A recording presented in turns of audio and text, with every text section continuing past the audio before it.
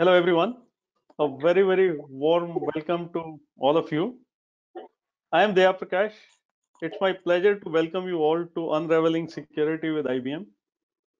We are kickstarting the Unraveling Security series to encourage thought provoking discussions and share new insights on key cybersecurity topics relevant today. The focus of discussion today is XDR or Extended Detection and Response. I couldn't have asked for a better panel to have this session. I have with me today uh, Mr. Milind Mungale, who's going to be joining us very shortly. Protean e-government technologies, formerly NSDL, e-governance infrastructure. Mr. Nagamohan Gollangi, CISO Bank of India. Mr. Vishant Pai, Head GRC and CISO Yotta Infrastructure Limited. Mr. Prashant Pujari, CISO Tata Technologies. Mr. Manthan Babu, Chief Technology Security Officer and Data Privacy Office, Officer, Office, Officer, Vodafone Limited, Vodafone Idea Limited. Ms. Shilpa Sawant, AVP Cyber Security, Reliance Industries Limited. Mr. Rushikant Shastri, VP Banking, IT Domain Expert, State Bank of India. Mr. Somil Purani, Deputy Vice President IT, Axis Bank. Mr. Manish Chandegara, IT Head and CISO Insulator Business, Grasim Industries Limited, Aditya Birla Group. And Mr. Pradeep Vasudevan, CISA, Threat Management Leader, IBM Technology Sales, India and South Asia. I welcome you all to today's discussion. So I just just to just to briefly introduce you uh, to Mr. Pradeep Vasudevan, right? Uh, he is the subject matter expert in today's discussion. Uh, so Mr. Pradeep Vasudev is from IBM Security. Pradeep leads the threat management business for IBM Security for India and South Asia, South Asia region. He comes with 20 years of experience, most of them in the information technology and many in the cyber security domain. He is passionate about maintaining healthy customer relationship. I would like to invite Pradeep uh, for setting up a brief context to today's discussion uh, before I kickstart the discussion with all of you. Uh, so over to you, Mr. Pradeep. Thank you so much, Daya. Uh, thanks, uh, everyone. It's, it's pleasure meeting all of you together in you know this digital platform before we all get back to our office. Maybe another couple of months time, we will all be back in our office. In fact, today is the day when we are all back in office. Right. So our offices have opened and very happy to be in office after more than two years. Right. So it's a different experience altogether. Right. So uh, looking back, some of the problems that was inherited because of the work from home, remote work, some of the problems still continues, right? One of them is the the issues, the challenges that have been introduced by the hybrid workforce.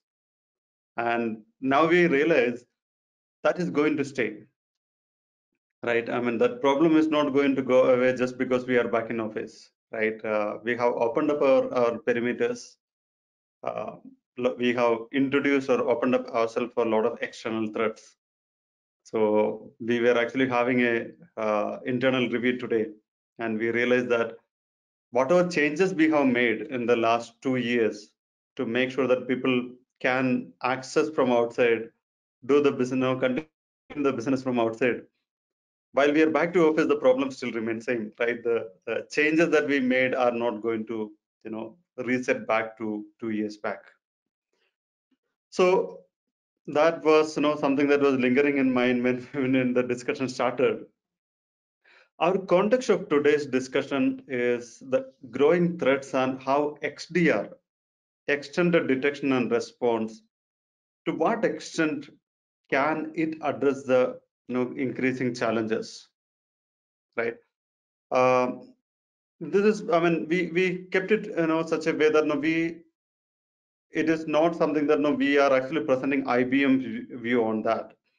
We wanted to hear about, you know, from your experience, what you see or what you think about XDR. No, is it the right thing that uh, can solve the current problems, right? There is no prescriptive approach or you know uh, suggestions from IBM as an organization in this panel at least, right? We are keeping it open and very warm welcome to all the you know opinions, feedbacks, and we have some very specific questions you know, that we hear from our customers as well.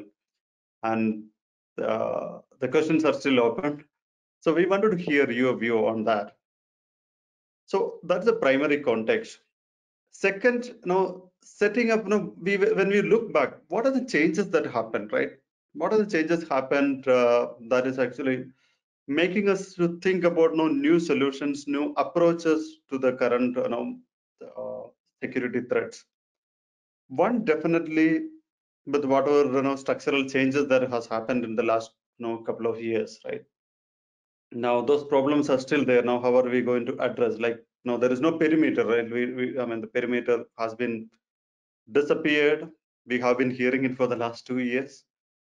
On top of that, there are a lot of more governance framework that have come in picture, right? come in space, especially on the financial sector or uh, whatever the regulatory industries are.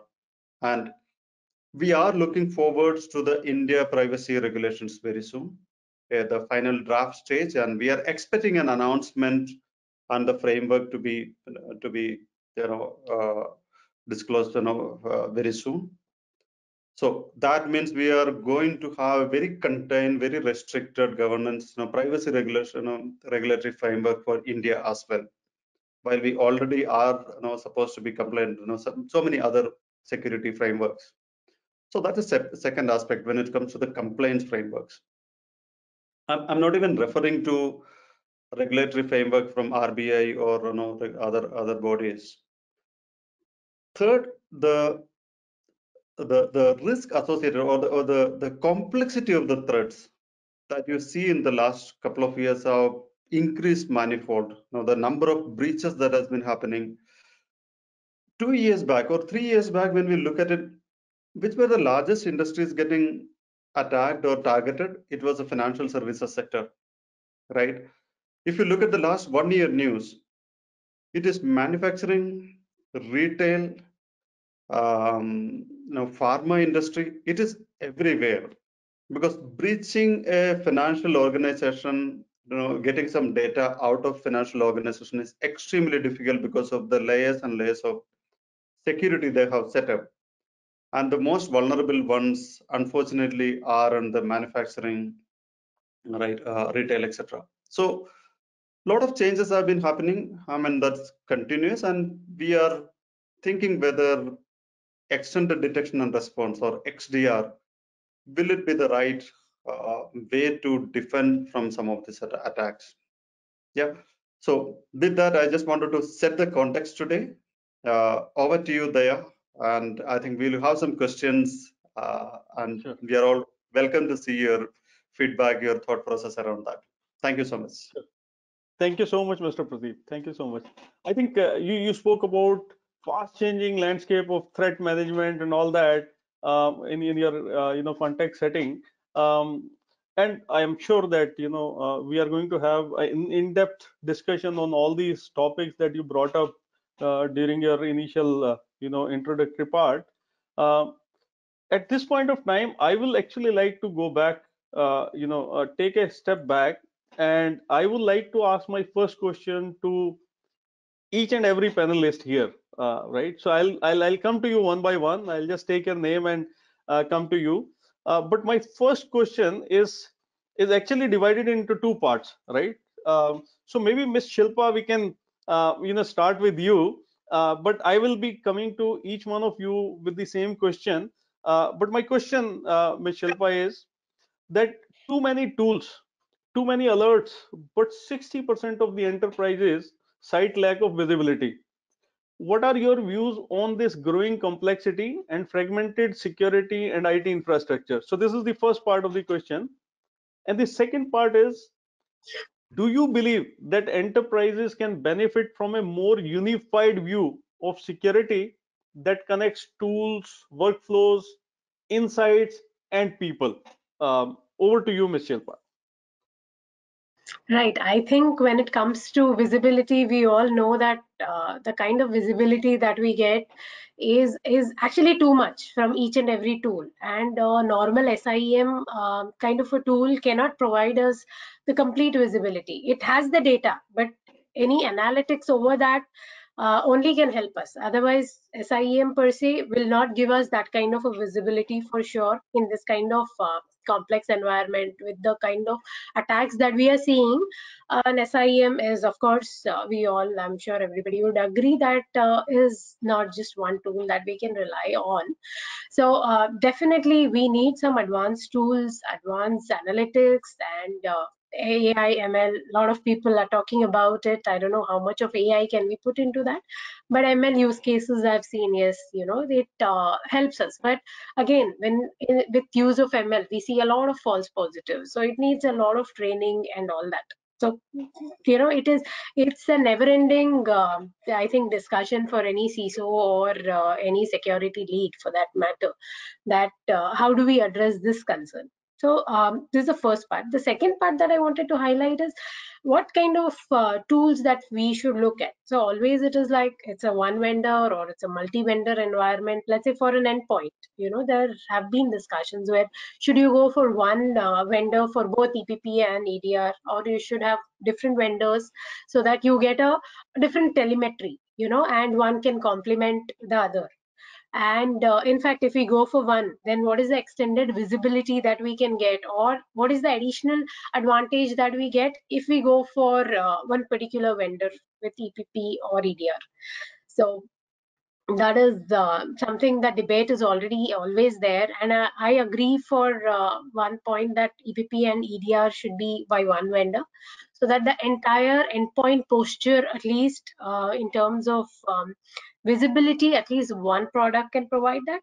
Maybe we can have network tools or we can have uh, something additional at the data center layer to complement these tools. So so this this was my view and uh, uh, coming to this kind of complexity and with remote working, I feel EDR kind of a tool is very, very important. I mean, one of the challenges that we had faced, let's say we were working uh, remotely and we want to, triage uh, an endpoint or want to investigate on one endpoint and that endpoint is not connected to the network, it becomes very difficult. So definitely tools and technologies are important. And consolidation again it depends on uh, uh, environment to environment um, solution to solution. You know one solution one oem might be able to provide what we are looking at. At point at uh, times it's not really feasible. So that uh, discussion i think it differs with environment and with uh, every organization. Maybe smbs can think of going straightforward with one solution and they get the entire visibility. But for a complex and uh, very large organizations the, i mean there should be a lot of thought that should go into to decide that what additional tools do we require or how do we consolidate all these tools to get a better uh, visibility and better roi also. It's not just about visibility and uh, of course this brings a lot of um, um, operational challenges for people who are managing these tools. Let's say if I, we have multiple tools and each tool will need different skills. So with considering the skill scarcity, the skill gap that we have, that again becomes a challenge. Sure, sure. No, I think uh, very well put. Uh, you know, in terms of complexity, in terms of skill set, and all those issues. Thank you so much, Ms. Shilpa. Uh, may I come to you, Mr. Nagamon, uh, for your uh, uh, take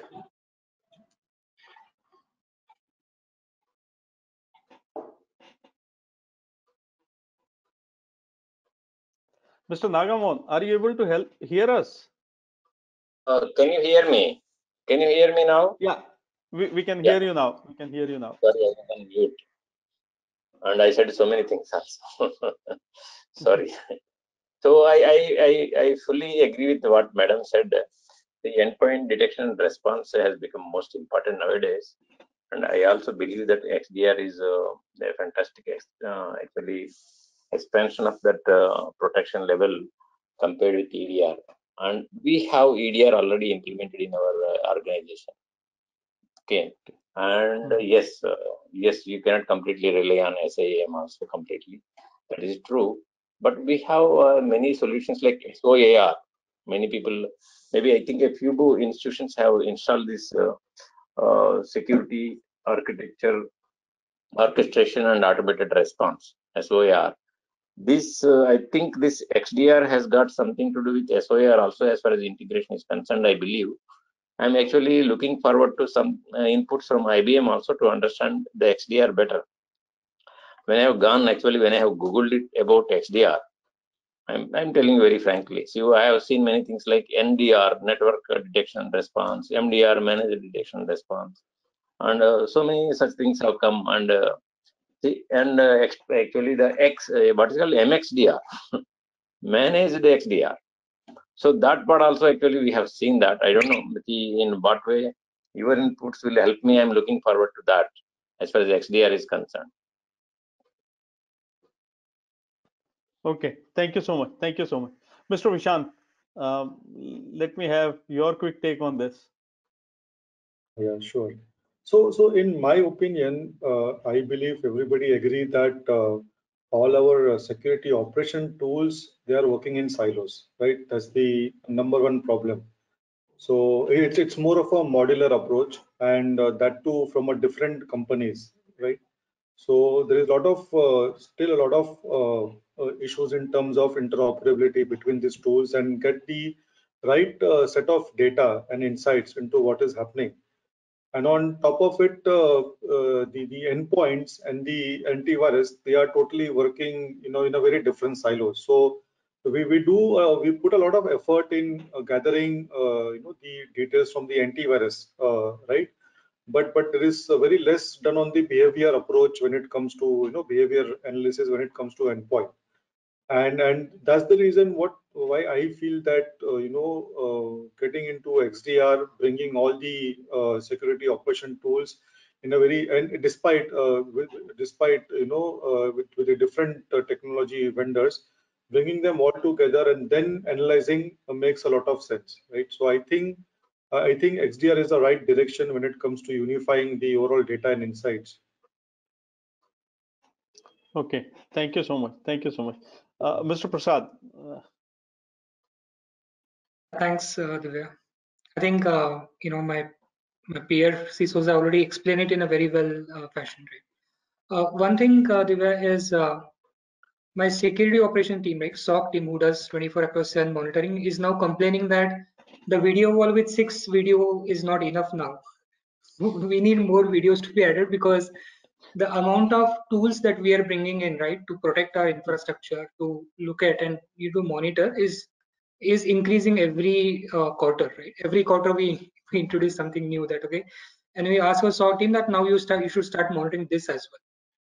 So um, and for any human being right it's not going to be possible the number of tools that we are adding the amount of intelligence we are getting out of it it's huge right and uh, as you rightly said, see, a lot of data is coming, but uh, getting meaningful insight out of it is is still difficult, right? In spite of having uh, very sophisticated uh, SIEM solutions or SOAR solutions now, um, you know, SOAR is well is still a next step, you know, after detection for uh, you know uh, actions, but the current SIEM is not enough to tell us exactly the actionables, right? And that's where we need some improvement whether that some improvement is xdr or some other solution i cannot comment on that. But yeah i think xdr is moving into that direction wherein we'll get meaningful insight in a single pane of glass wherein i mm-hmm. my soc team is can focus only on one tool right or one technology wherein they can get everything. So that's true. Mm-hmm. thank you so much. Thank you so much. Uh, mr rushikant yeah. Hello everyone once again. Yep. so I guess most of the my fellow colleagues have already spoken about most of the stuff. Like to put it in little different perspective. Mm-hmm. Few of them have already mentioned about the EDRs, NDRs, ACIM, so on and so forth. I believe that uh, all these tools work or integrated to do only three building blocks. First and foremost is your identification, threat identification, investigation, response, and remediation. So either of these three building blocks is a combination of two, three, or maybe single. That is the stuff my all the tools are doing across the application, database, or network. So, and that is going to remain the same. There is nothing new we want to do in security gamut that apart from this, any fourth or fifth thing I'm going to do along with security. No, this is going to remain as is identification.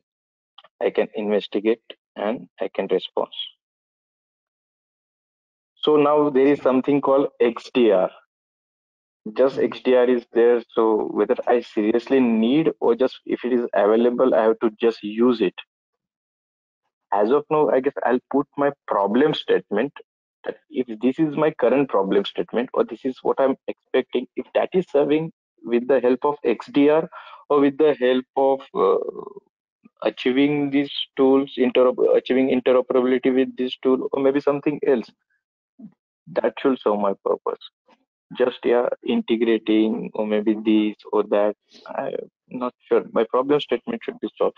So as of now, what I feel the first and foremost, my problem statement is like reducing the mean time reducing the mean time for all the three if something goes wrong my there should be minimum mean time for identification investigation and remedial action so that has to be achieved if that can be achieved by single tool if that can be achieved by interoperability or if that can be achieved by xdr that is Hmm. my requirement Right. and the other thing Oh, I need to stop my sophisticated attacks and adapt the defense to prevent the future threat. If these two things can be collaborated with minimum cost, and the point which uh, sometimes uh, security person miss out is without compromising the performance. If I have high-end security appliances, security devices, but if my business is going for a toss, my performance is going for a toss, then I think I have not done a right decision as a CISO. Because as of now, we have to bring the business factor also into the play. So, of course, with minimum cost, or someone has rightly mentioned with mm, accurate ROI, and without making much trade-off of performance, because if I add something else, or if I just collaborate to achieve the interoperability, but if my performance is going for a toss, I guess uh, I don't think I have done a wise decision. So that's it. Uh, XDR, uh, good concept. Uh, It has a sophisticated features. Uh, it is still evolving. However, if it is solving my problem statement, then that is good. If it's just uh security gamut or just a buzzword, then I'm sorry, but uh, I don't think it may be helpful. No, very well in, very well in. And before I go to, uh, you know, Mr. Pradeep to kind of, uh, you know, check on the points that you have mentioned specifically, uh, Mr. Rishkant, uh, let me just quick uh, take a quick input from Mr. Manish also. You know, very quickly, Mr. Manish, you you heard them all, but if there is a slight difference in your perspective, or uh, help us understand that very quickly. And uh, Sure. So my old security expert friends has almost uh, told all the stories. So I would like to summarize all in a in a few sentence. Is uh, right now we have all the technologies, all the tools, but we need something kind of a dashboard kind of a thing which act with the AI, artificial intelligence. There should be automations. You know, Mhm. uh, where uh, my SOC person is missing something, it should be response react uh, without manual interventions and then react and then remediations so i think Sure. that's the things uh, is a is a future that we are missing now so Sure. i would No, say fair point. that's the things Yeah, absolutely fair point. And let me come to um, you know Mr. Pradeep very quickly uh, and and and take his uh, you know inputs on this. Mr. Pradeep. Sure. Yeah, sure. Thanks, Zain. Uh, in fact, very, very interesting uh, inputs, uh, very open discussion. So thanks for all the feedbacks. So this is, in fact, in line with a lot of you know discussion that we have with our you know industry experts, our customers, you know, our CISO team, etc. So two aspects to it. You know, uh, in the same line of what Mr. Rishikant sir has mentioned, any SOC operations, right? When it comes to the threat management part of it, you know, three or four. I mean, Sarah has actually consolidated two of that area. So basically, we look at it like you get visibility, help you doing the detection and investigation, and the response, incident response when it comes to that. Now, the biggest challenge, right, when you're talking about multiple tools, like you know, everybody has mentioned, you know, that you know, you have so many tools in this, you know, in the organization, and you cannot get away with that right. It, you have to live with them. There's all design purpose design for specific uh, reasons. Now how do you get a visibility integrated visibility of all of them into a single pane of glass?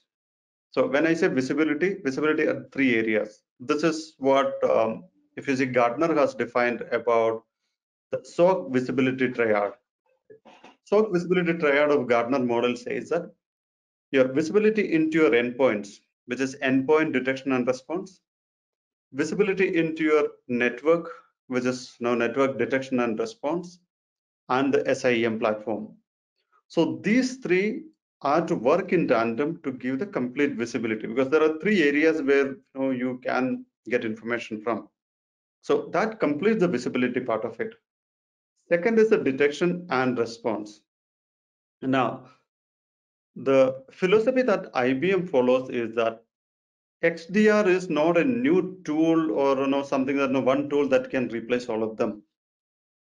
IBM's philosophy is that XDR is a tool that integrates all your existing solutions, right? When it comes to EDR, NDR, SIEM tool, SOAR platform, gives you an end-to-end -end visibility, right, as a single pane of glass thereby reducing the number of alerts, right? Reducing the number of alerts, which means reducing the the fatigue of the SOC analyst by you know going through you know thousands of you know hundreds of thousands of alerts every day.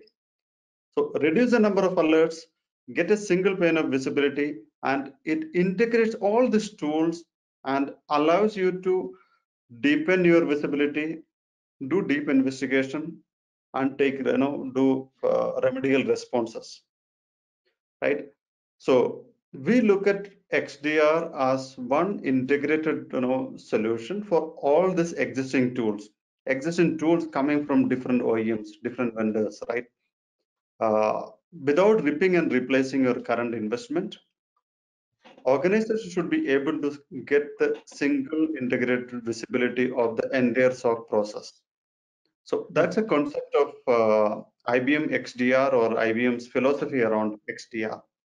So I think going forward, when we have discussion, we can probably touch upon some of these areas that we strongly believe should be, you know, helping the customers, you know, getting more and more visibility, reducing the amount of manual tasks that has been done, and how to improvise your, you know, how to improve your position. Yeah, that's that's uh, yeah. from IBM. Thank you so much. Thank you so much. Uh, my next question is for Mr. Milind. Uh, Mr. Milind, you must have heard all the speaker talk about, uh, you know, the visibility issues around visibility, complexity, and the whole turnaround time uh, with regards to, you know, addressing the threat management, um, uh, you know, landscape. Uh, so my question to you, Mr. Milind, is that you know today we see that the average time it takes to detect and contain threats has increased to 320 days as per some studies. Do you think that manual threat investigations are slowing things down? What do you think is the role that ai and automation can play in improving mean time to respond? Over to you mr milind yeah thank you. Are you able to hear me? Yeah we can hear you. Okay. So nice. Thank you yeah, uh, I mean, it's a very interesting question, no doubt about it.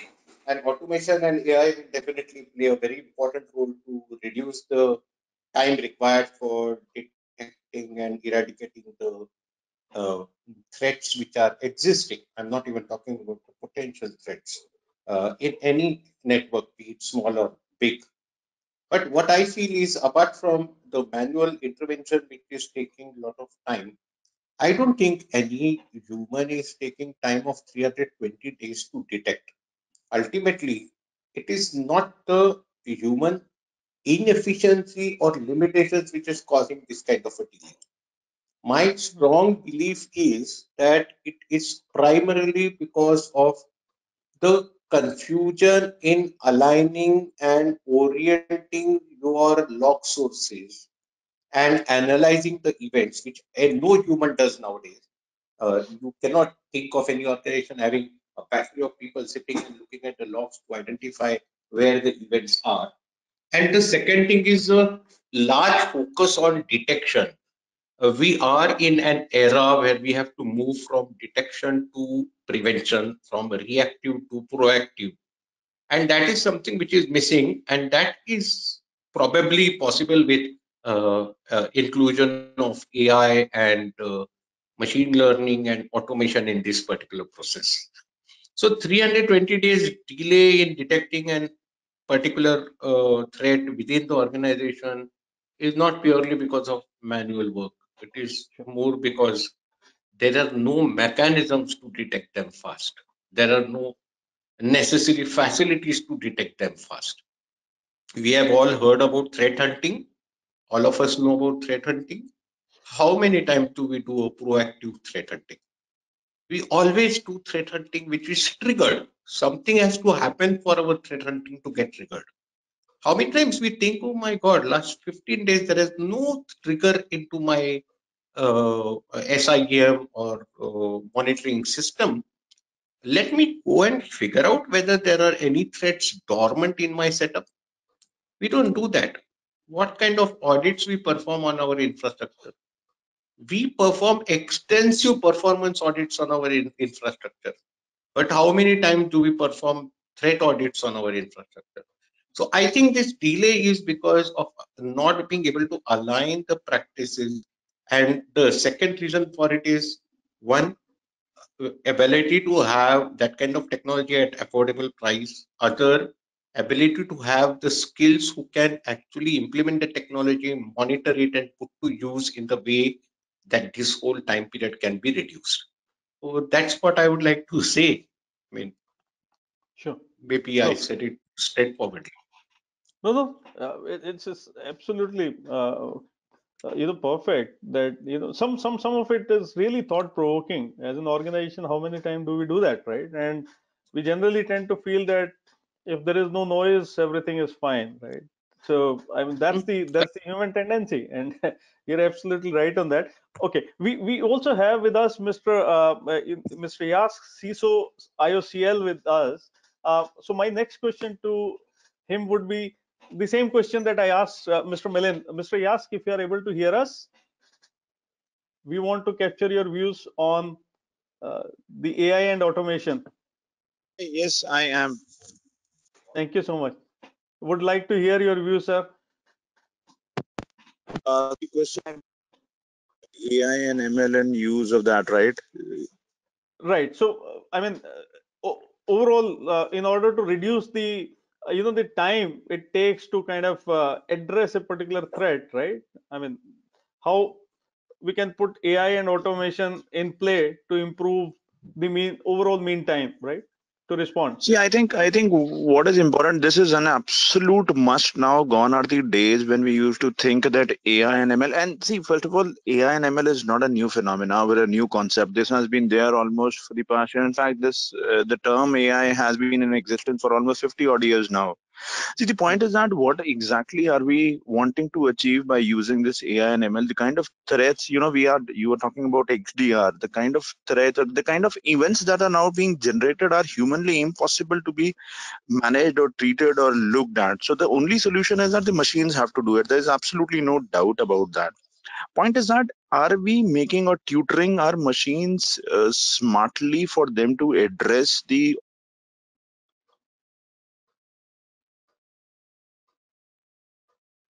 sorry. So uh, the point is that are we really uh, making our machines smart enough to understand and work on these yes we are we are in the process of doing that. Security orchestration and automation response is all about that. I think the only way to handle the kind of threat and you know the, the alert fatigue as they call it is to let the machines handle most of the uh, threats. It's all about identifying and the whole focus. I think the whole you know we we used to talk about those uh, steps that we take. One is the identification then prevention and detection. We have been talking about a lot of these things. I think what is important is for us to realize that uh, what is to be done is to bring down the dwell time, the time, you know, detection. You mentioned some 320 or whatever those numbers. I mean, I actually don't go by these numbers. Uh, these can be misleading. To be brought down. It can only be brought down by use of AI and ML. But having said that, it is also important to understand this AI and ML is not like a magic dust. You know, you just spray it and everything becomes uh, very rosy.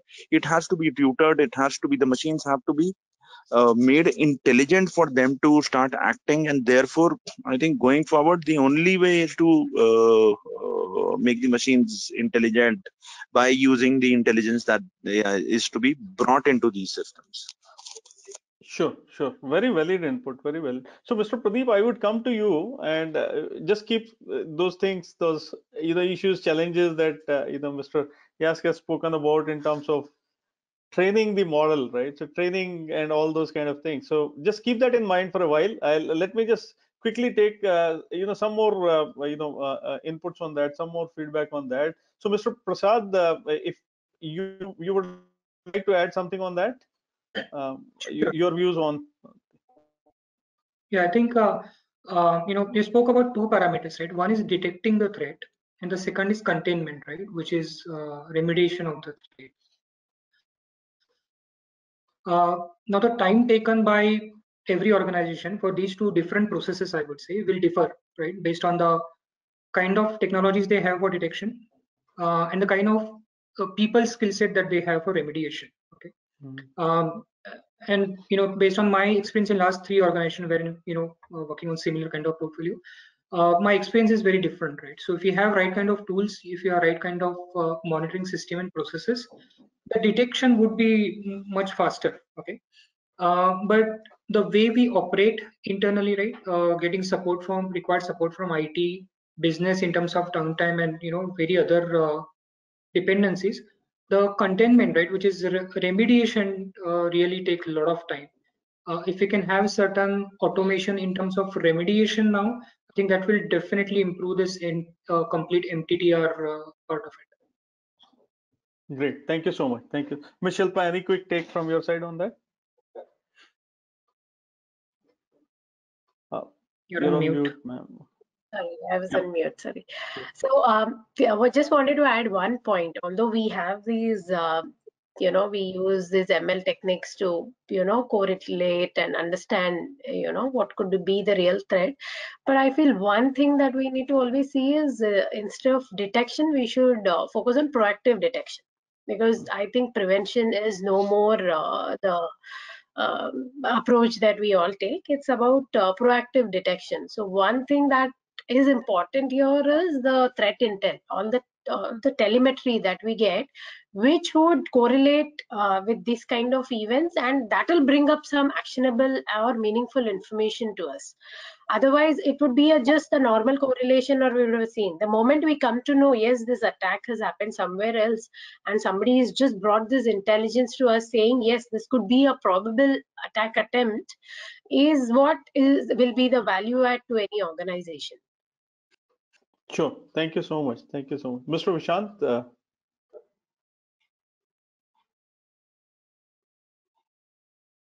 Yeah, so uh, basically, I think uh, it's it's uh, so so the time to detect. Uh, one one reason is also is that you know the SOC is already overwhelmed with so much internal priorities, right?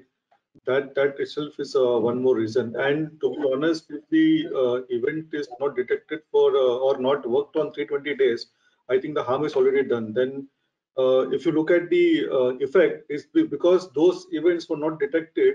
That's the reason if there are any exploits or any kind of uh, remediation is required. So these teams are already working on those remediation, right? So they're already doing those investigations. And this is because those events were not detected in past. So one thing uh, that uh, that you know XDR, like I said, it's more about you know going behavior based rather than having signature based approach and uh, and more into you know detecting all this uh, kind of threats from endpoints or from network or from your you know privilege access management tools or your DLPs like I said, it's all about uh, you know bringing all this together. So uh, so one thing that we started uh, is doing is basically when we find a vulnerability, right? We basically take that data and ingest it to our SIEM, right? And what we do is that we we now uh, start uh, we, we start to giving uh, those particular assets more priority to work on, right?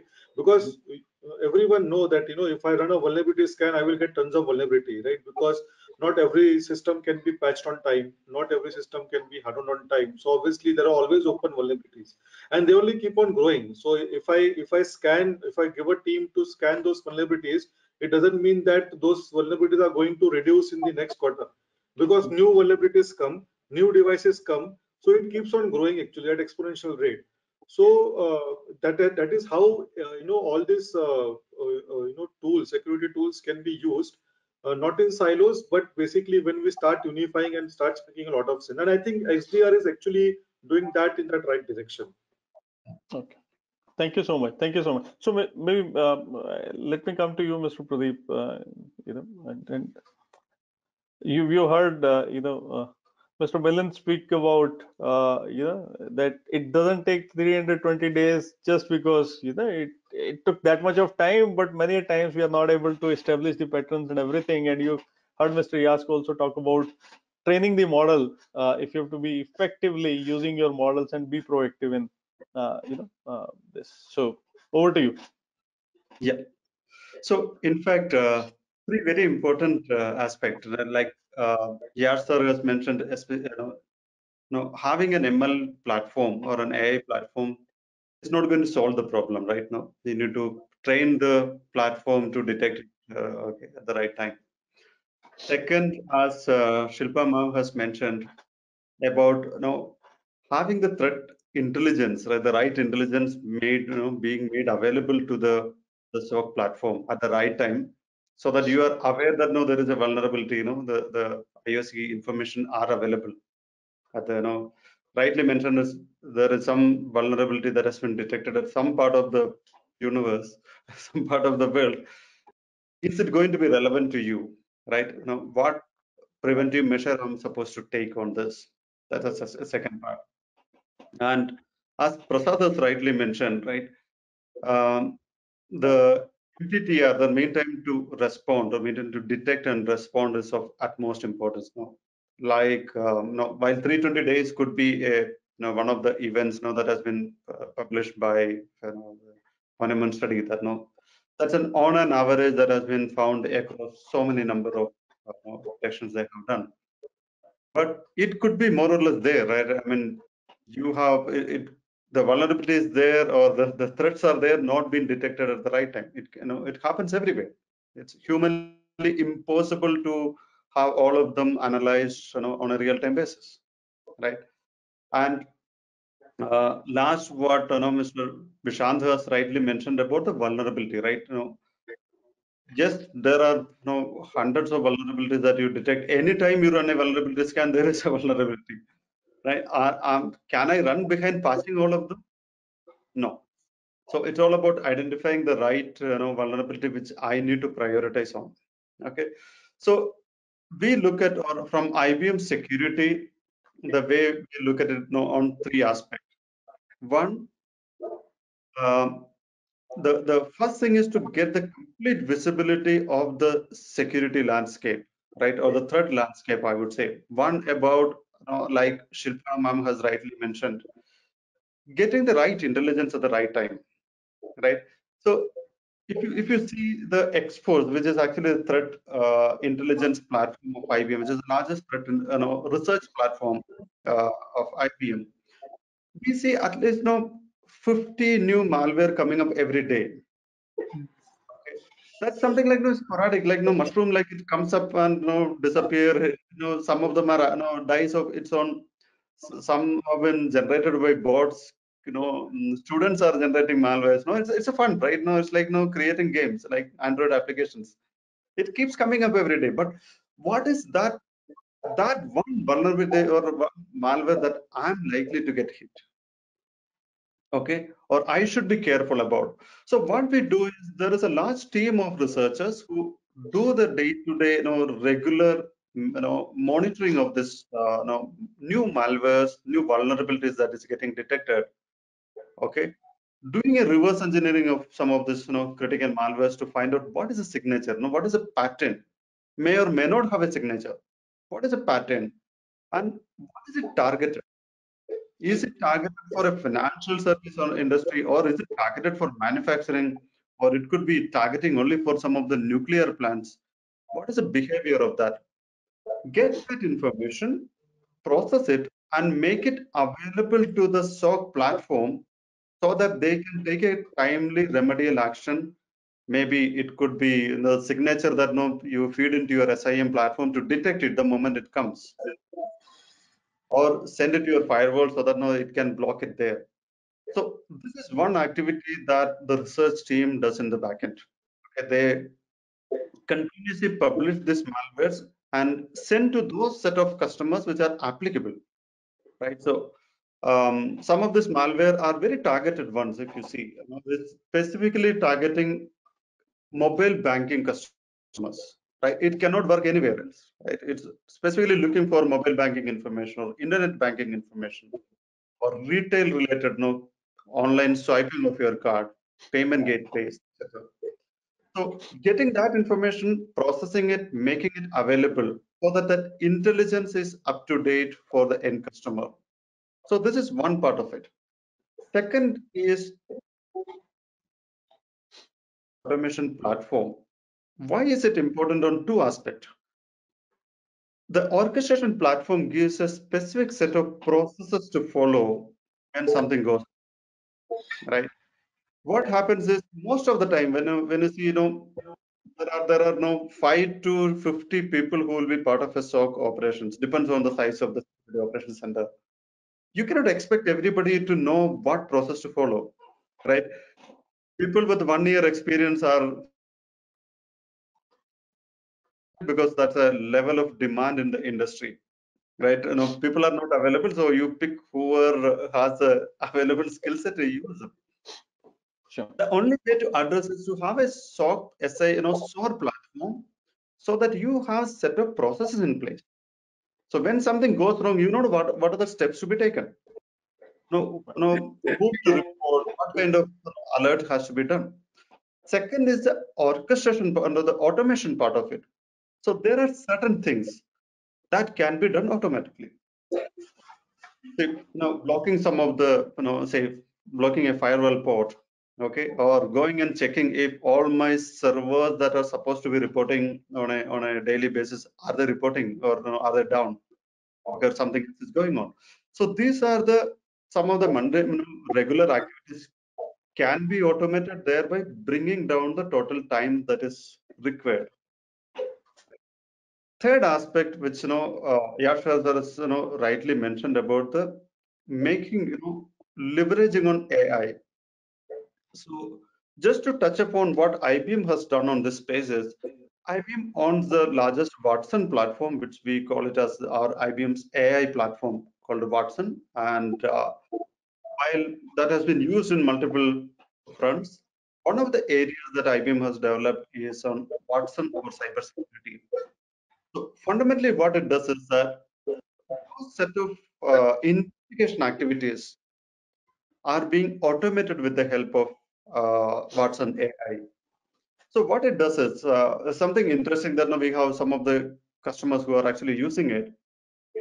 Uh, when when in a, in a regular SOC manager's life or a SOC analyst life, they want some information, they get something, and they do a lot of research into that, you know, to find out okay I got a particular IP, okay, or a URL. What is it, right? Is it a bot or is it some some funny IP address somebody has generated doing some monitoring, or is it a command and control center? So that needs a lot of googling, searching of some of the databases, you know, checking with some some peer groups. That's a very time-taking activity. That consumes a lot of time of the SOC analyst. The difficult part is that most of these activities are done by the L1 and L2 activity, you know, level of which is expected to be the lowest level of experience, right? And the, the people with the lowest level of experience are actually trying to find out what is actually that vulnerabilities or what is that particular IP address. So the Watson platform has actually used the AI intelligence, whatever has been gathered and been continuously fed into that information to do this investigation automatically and continuously. So the threat investigator with Watson that has been released by IBM is actually we are doing a lot of pilot project with our customers to see is it going to add value to the customer, right? Mm-hmm.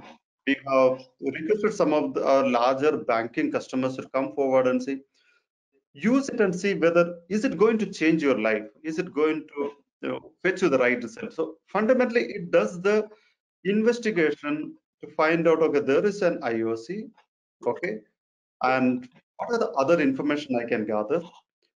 Pull in all the artifacts, enrich it, and give only the actionable part to the SOC analyst. Okay, so this is something that IBM was heavily invested into to do a you know, you making use of AI to do the investigation and use the SOAR platform to do the response. So this is our uh, our view of you know making use of AI and you know analytics for the investigation and response. Yeah. So How thank you so much, Mr. Yeah, thank you so much, Mr. Pradeep. Thus far in the interaction, I've learned, you know, uh, uh, uh this that uh, you know this security field, right? Uh, you know, it's it's kind of changing very fast, evolving very fast, and you know, um, there are tools which are available today. They are sufficient. Some scenarios they are not sufficient. So continuously, uh, you know, evolving. Uh, but I think one key question that comes to my mind at this point of time is all about, you know, we as a leader, and many of you also spoke about making sure that the, you know, the solution that you implement in your enterprise is something that gets you enough ROI, right? But I think one of the issue or the challenge that we're running into is about what happens with my existing investment right? And uh, you know because if, if it is evolving and ever evolving and at a speed that we can't kind of predict in some sense right? Well, how do we protect our investments right? So challenges around protecting the existing investments making sure that you know we are able to leverage and draw some good roi on that uh, you know what are the challenges around the the investments that needed to be made? Uh, you know and i would like to start with mr rushika mr rushikant uh, to, to to understand his views on the uh, challenge. Yeah. I was very glad uh, that this point was raised. In most of the security discussions uh, somewhere we don't uh, touch base upon this finance or business parameter we talk about the alerts we talk about the detection and we talk about the remedial and so on and so forth. It's very difficult, I will tell you. It's very difficult because at least what I've been seeing since decade or so and what I've been hearing is happening since last now couple of decade that every time at every frequent interval there is something new in the market and we have to adopt either through buzzword either through gamut or sometimes through compulsion also. So something is going. So there was the earlier it was started with some firewalls of the world. Then what we discuss about EDR, NDR, UBAs, then the SIEMs of the world, and uh, last but not the least XDR. So tomorrow there will be something, some other DR, XDR.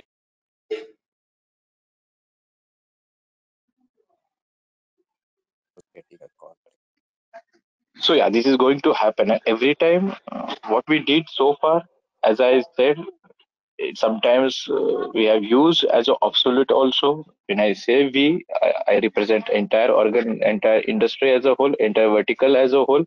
So sometimes there are many security tools appliances they are just working as a router. Of course when i say router if i introduce something new there will be alert. Definitely there will be thousands of alert whether those alerts were useful anytime? No. Answer comes no. So actually, actually convincing management for the something new worthwhile, it's a difficult task. So until only something goes wrong, then you go for complete shoot. Actually, it's a trade-off. It's, it's a very big trade-off wherein you know whether I need to go for something new or whether I should wait. Because it's just not just about investment it is about managing your uh, business also your performance also. So it's it's it's a, always a dilemma in the minds of the experts that if something new comes into the ecosystem your performance goes for a toss so without compromising the performance and without uh, I, it's very difficult i say that without uh, compromising or without touch basing my existing investment i can bring something new. No this, this that is not going to happen because suppose if i'm using someone's vendor a uh, appliances and if i'm bringing something from vendor b he's not going to pay for vendor b. So that is i i don't believe in this statement if i want to bring something new if i want to adopt something new i have to shell out. So using uh, okay then the other question is like how about utilizing the existing resources for bringing something new? Well i'm not doing business of security. I'm not if i generate uh, today i'm generating 1 lakh alert. Tomorrow if i start generating 2 lakhs alert whether i'm going to uh, get some revenue? No it is going to add cost only for reviewing those interpreting those alert for identifying false positive false negative into that is going to add me the cost. So actually this statement doesn't stand hold good in the security ecosystem. It may holds good in the business or it may holds good in the applications point of view where i have used the existing resources existing technology or existing process. In the security of the world i always believe either your existing tool is obsolete it's of no use it's time to upgrade as of course threats are also evolving or else if you are bringing something new you have to shell out. Boss you have to ready to shell out. There is nothing called i'm using my existing resources and on top of that i'm adding something no no that is not going to happen at least in the security gamut. And uh, uh, ROI per se whatever you have invested make sure at least you are safe. That is the only ROI in the security. There is no other ROI parameter in security of the world. This is my personal submission. I completely agree with you completely agree with you. Uh, let me let me come to you Mr. Nagamohan uh, and and take your quick views on this. And uh, you know in the interest of everyone's time let's um, keep it very very crisp uh, you know, as much as possible. Uh, Mr. Nagamohan, over to you.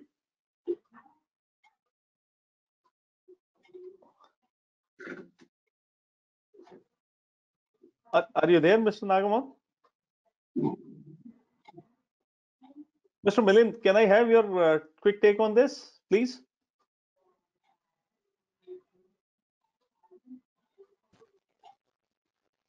Hello, are you able to hear me? Yeah, Mr. Milind. Yeah, yeah, we are able to hear you. Yeah. Sorry, can you please uh, repeat your point? Yeah, sure. So we were discussing about you know security. Uh, you know, landscape is changing very fast, evolving very fast, and you know each and every Yes, day there are newer tools in the market. How do you protect your investments, right? I mean that's the biggest one of the biggest concerns. Uh, you know. Yeah, so uh, primarily I will tell you what approach we or what approach we find is suitable for us. Is that one is that there has to be a security program in the organization. Now, as you have yourself said that there is going to be a continuous evolution of security, technology, devices, new entities are entering this market because it is a very, very uh, uh, ripe or or fertile market and they are going to position their security. So one is we should not adopt technology as a fashion because some other organization went in for so and so technology. We should also have it. It is not a showcase of security technology. Organization is not a showcase of security technology. Second is uh, security program helps in uh, multiple ways. One is it helps you in identifying what kind of security projects you will take in that particular year, and then it is okay to blind yourself from all the things happening within that particular uh, uh, that uh, in the security domain and focus on the program that you have devised. And third is definitely it helps you to plan your budgets, get it approved, and all those things. Now, when you budget something, you have to tell about the utility value of it. So, ideally, any security technology utility value in today's era would not be more than four to five years because by that time the entire things would have changed. And you can't spend money on heavy security technologies every year. So from that point of view, uh, uh, when we plan any kind of a technology to be introduced within the security landscape of the organization, we have to look ahead at least four to five years and see how this roadmap is evolving. So one of the important uh, questions that any OEM should be asked is, what is your roadmap for next two years, three years, four years? If the Yeah. OEM tells you that I have a roadmap of only two years, I don't have anything for three or four years, that means you know that you will not be able to project how this technology is going to evolve over next four, five years. And that is where, you know, there is a bit of risk of uh, being able to protect your investment. So any good OEM, good technology would have at least roadmap of three to four years. And if it is there, then you are fairly assured that your investment is protected. So that's how you know we can look at how to protect the investment at the same time have good technology in the organization for protecting the digital assets. Great point. Great point. Thank you so much. Thank you so much. Uh, Mr. Prasad, very Absolutely, quickly. I agree with this. Yeah. Uh, yeah, quickly. I think it depends on uh, technology, technology, right? Uh, what we are referring to. Uh, and if I quickly take an example of again, uh, you know, QRadar family itself, right? We are using QRadar for more than seven, eight years now, and uh, let's say we started with SIEM, then we upgraded it to uh, UAB, user behavioral analysis, then we, you know, uh, adopted Resilient, right, to, you know, as a SOAR platform, and now we're talking about XDR. So if you look at this journey, my investment that I made maybe seven, eight years before is still live, right? I mean, it is still giving me a return on it, right? Whereas I'm still able to modularly improve it uh, because of the threat landscape is changing. Okay, that's one example. If I take another example wherein I was using very traditional way of firewalls, right, uh, which does not understand what is layer seven, right? Application, it doesn't understand protocol level detection, right? I have no choice in replacing them with next generation firewalls, right? So it, it very much depends on what technology we're talking about. But the very right point that we heard is while selecting a technology, it is very important to understand the background of the OEM from which we are buying it and what is going to be the OEM's roadmap for next at least three to five years. I think that's a very, very valid point. Sure. Fantastic. Ms. Shilpa, would you like to add something? I I would, if you allow me, I would like to just uh, come in for a bit. Sure. Yeah, so uh, you know, uh, I'm not here to uh, promote any technology, but it so happens coincidentally that we are also using QRadar, and we finalized on QRadar about five six years back. And Your whatever voice is Prasad little, has your voice is little low. Your voice is little low, I think. I think. are you are you hear me now?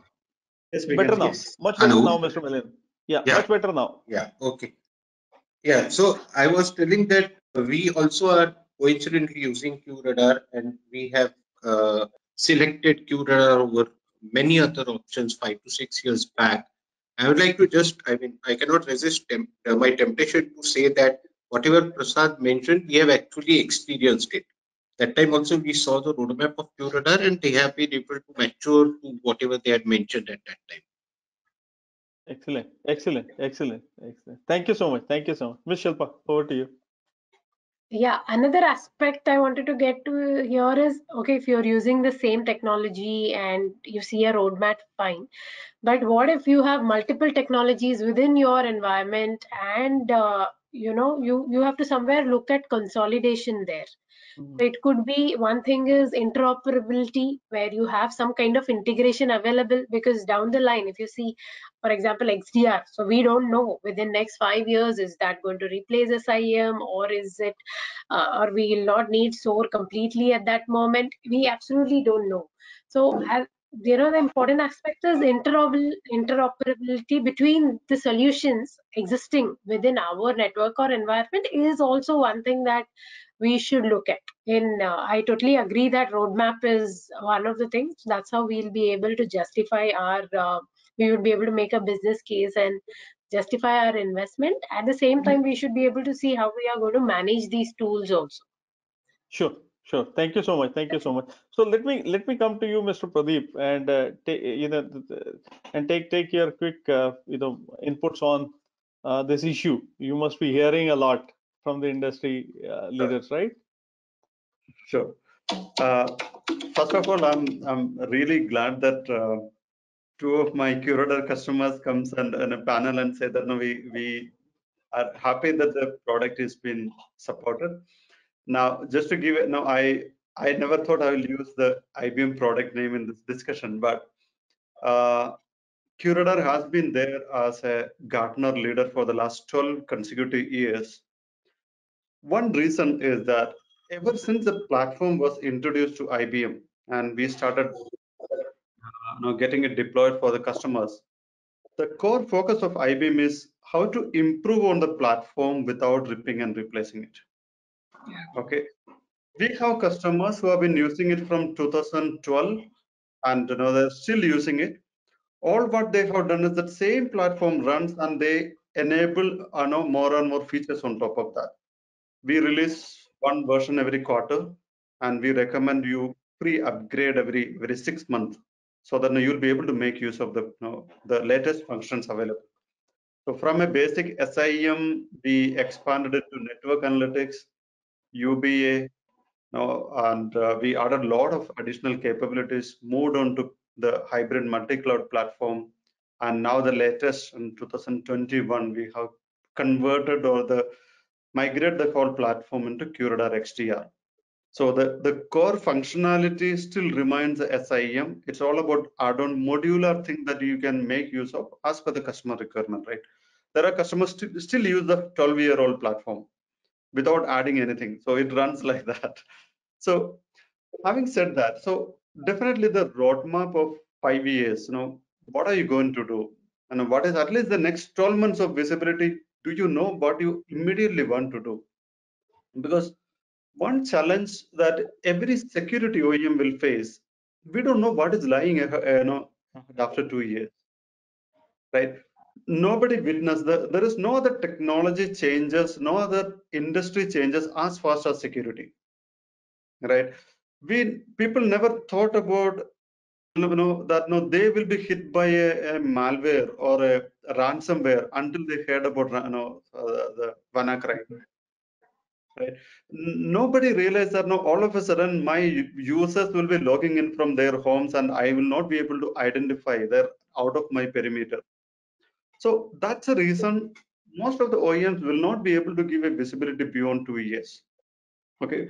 I mean as a practice we give eight quarter visibility to our customers that no this is our roadmap for the next eight quarter. It could be security data lake introducing ai into the platform ml into the platform custom you know ml scripting capabilities all those things. We still don't know after two years what is going to happen right? Um, i mean when when we we never expected our one of the, some of the largest banking customers will move the entire application to cloud right? So we so the moment we see that this movement happens somewhere then we are also prepared to make sure that the customers will be able to make use of that. And that is first as no i just wanted to you know thank you know uh, both uh, prasad as well as um, you know, Milind sir for the you know highlighting. So one very important aspect which shilpa ma'am has mentioned about interoperability right so IBM has introduced this concept and we were the proponent of the idea called Open Cybersecurity Alliance. So the concept is that there are a lot of OEMs, you know, some of them are actually competition, right? We work, you know, compete with a lot of other OEMs in the market, but on the other side, the bad actors are always united, right? They share code, they share vulnerability information, they share everything where we don't share, right? So concept of OCA, Open, Open Cybersecurity Alliance, is to make sure that my platform will work in tandem with other OEMs in the system. Okay, so now there are a lot of OEMs into that you know uh, alliance where we have Cisco, where are so many other CrowdStrike, so many platforms are sharing the intelligence with with other platforms so that you create a unified front to defend against the bad actors. So OCA is a concept, is an alliance that has been formed, and IBM's ideology of XDR, no rip and replace. So the, the concept is that going and telling a customer that no, you're the pl platform that you have invested two years back, back is obsolete. please rip and replace is a crime. So the idea is here to make sure that whatever investment that has been done, okay, organization make it, uh, it's not a personal choice. Organization make decisions after a lot of discussion, lot of evaluation, and they will consider all possible scenarios at that moment to take a decision, right? It may change. It may change after you know 18 months. Things may change, but how do we leverage on current investment without ripping and replacing? So having a single platform, especially when when we introduce the QRadar XDR platform, the primary concept is without ripping and replacing any of the underlying technologies, how do you integrate all of them and create a single unified platform? That's a concept. And as Mam has rightly mentioned, Open Cybersecurity Alliance is the underlying concept and the technology. Okay, we use uh, no the the uh, it was a patented technology called STIX, uh, uh, STIX Shifter, which we made it as open source, so that anybody who wants to use that platform to create the interoperability can use that platform, right? So that's a concept, um, and that's our view on this. Thank you so much, uh, Mr. Pradeep. Thank you so much. I mean, I had this wonderful uh, time uh, last almost one one hour 15 minutes that we have been together. Uh, a great learning opportunity for me, and I'm sure that uh, you know each one of you could also uh, got some takeaways with you from today's discussion. Um, you know, I when we started this discussion and the whole dynamism in which this industry operates, right? And I was little um, you know, um, uh, taken aback in terms of, uh, you know, uh, how to cope up, right? I mean, how do we get that confidence? You know, and I was putting myself in the shoes of each one of the speaker that I was speaking to today, and in the in their leadership position, right? It's very, very, very difficult situation to be in there, right? And uh, you know, good, uh, you know, to hear from you, Mr. Pradeep, that you know, a principal like yourself are kind of you know available there to extend the support and what better than this that there are two customers on this call today on, on this in this session today talking about uh, making some investments back in 2012 and yet reaping the, uh, the the the results or the benefits of that investment that they would have made long long long back uh, you know uh, and and and continue to get kind of support that uh, you know your organization is kind of extending them and and to various other players in the industry uh, great to know that. Um, uh, a very quick take from your side, Mr. Pradeep, uh, to kind of conclude this session today. I have nothing else but a huge thanks for each one of you for your active participation. But uh, let me hear from you, Mr. Pradeep. Sure. I mean, I have nothing but to say other than a big thanks for all the panelists. Very insightful. I mean, all of you are veterans in your area and you come and share, you know, openly share your views uh, right now, which may or may not be in line with the philosophies of IBM. But the the idea of this platform is to you know learn from each other and share the you know uh, different viewpoints. So um, thank you so much on behalf of IBM for spending time with us. I know it was great, great discussion uh, very insightful discussion, right? I mean, some of them are in sync with what we hear in the industry. Some of them are very different from what we hear from other customers, but it was great input. Thank you so much for uh, teaming up and coming on a panel like this. Thank you so much. Uh, with that, I think uh, we are at wrap. Uh, thank you so much, everyone, for your very, very active participation, sharing your practitioners' views today and uh, you know helping us learn a lot from each one of your experience. Lot to take back. Thank you so much once again. Have a great day. Stay safe. Thank you, thank you. Yeah. so much. Thank you. Divya. thank you. Thank you for nicely manage the show. Thank you. Yeah. Bye sure. everyone. Thank you so much nice meeting you all the cyber experts. Thanks daya. Take care. Thank you so much. Connecting with you all. Bye bye